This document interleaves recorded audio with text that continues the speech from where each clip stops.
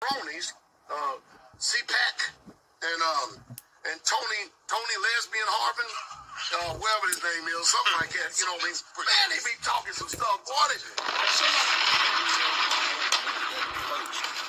I'm call your name Tony Harvin and Pastor Gino Jennings.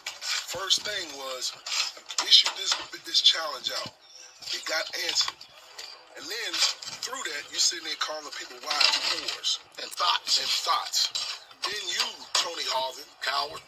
you coward. Then you turn around and you putting names of slaves and thoughts and all of that on holy righteous women photos.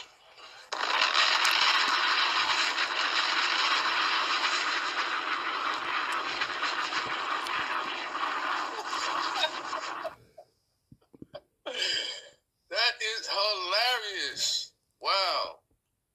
That's hilarious right there, man. That is hilarious. What's up to Michael Hollingsworth? What up, what up, what up? The man asked me if I'm married. he says, I think I read that one already to you uh, at uh, G Swole. Um, Southern Express says they are Israelites are right. That's why God divorced them in the Old Testament, like they uh, to use. Hmm. He says meat lovers. What up Michael Hollingsworth? Uh, I remember that he was live and speaking about Gino's wife and mom, and he was drinking and had guns in the back and started talking crazy, trying to act hard. That's what I'm saying. That's what I'm saying.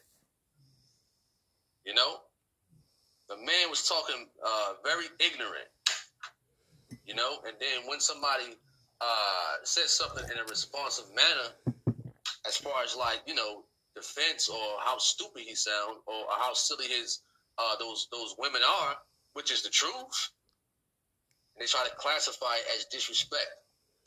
How you uh, how you a so-called pastor drinking whiskey or whatever the case may be, you know what I mean, using profanity, disrespecting people's mothers and whatnot and you call yourself a man of God? What man? Listen, what man of God got in him, preaching the word, but got a cup of whiskey? I don't get it. I don't get it at all. A cup, a cup of whiskey. I understand some wine. A lot of us, you know, I mean, you know, got an infirmity. You know, our stomach hurt a little bit. You know, listen, we, we get this much wine and try to and try to justify our infirmity.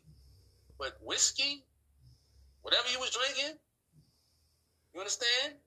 On a live drunk. A pastor on a live drunk. So what you got guns in the background? Who cares? Who cares? I'm pretty sure some people got, got guns also on here for hunting purposes and things like that because that's what y'all do mainly is just hunt. You know what I mean? Or, or go go to target practice.